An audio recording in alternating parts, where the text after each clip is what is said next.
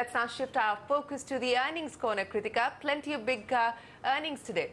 Absolutely. So let's start with the big automaker earning of the day. Maruti Suzuki beat revenue estimates today on their quarterly earnings for the period ending March, but profits saw a decline due to higher discounts, the Jat agitation in February, and increased advertising spent on new products. But what would bring cheer to the street is Maruti's guidance for the new fiscal, where the company announced it would aim to clock a double-digit growth. CNBC TV 18's Ronojoy Banerjee brings us the key highlights from the earnings. For the first time in two years, Maruti Suzuki reported a drop in their quarterly earnings. The January to March quarter saw the company's net profits falling 12% year on year to around 1,134 crore, as against the CNBC TV 18 estimate of 1,240 crore. This was on a revenue base of 14,930 crore that reported a growth of over 12% in the quarter, beating analyst expectations. The operating margins for the quarter stood at 15.3% as against 15.8% in the same period last year. Tax expense for the quarter increased 27% at 556 crore as against 437 crore rupees and other income too declined 62% to 121 crore versus 320 crore last year.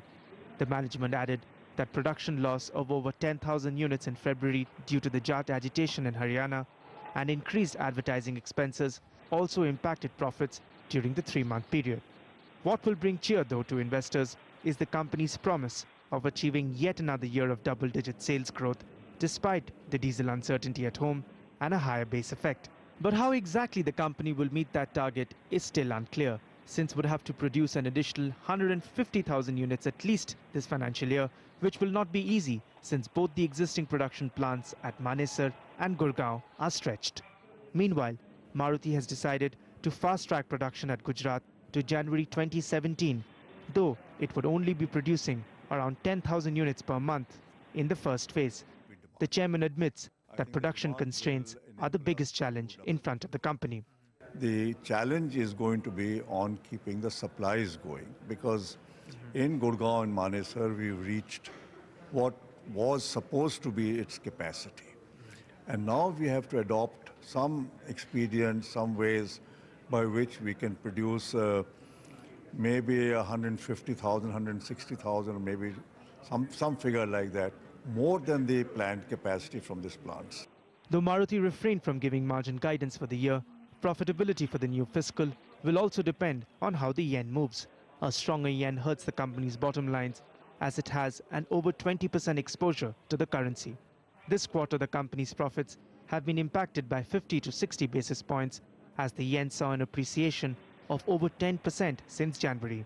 However, the company is putting in place a new hedging strategy that includes paying its parent Suzuki for royalty on new products only in rupees. New model uh, Vitara Brezza, which uh, was jointly developed, uh, the first time the royalty now is denominated in rupees. And it, since the, it was a joint development, therefore the royalty rate also is uh, under 4% uh, because uh, it includes the efforts that uh, the Indian engineers had put in in design of the car. Mm -hmm. so that's what the royalty framework at the moment is, that on newer models, as we go forward, Uh, if there's joint development, uh, the, there will be a reduction in royalty rates. The company promises that the new fiscal will be another good year. The next 12 months will see Maruti investing 4,400 crore rupees in expansion activities, 70% higher than what it spent last year. However, headwinds in the form of diesel overhang, rising commodity prices and stringent emission norms continue to be a source for serious concern. In New Delhi, Ronojoy Banerjee.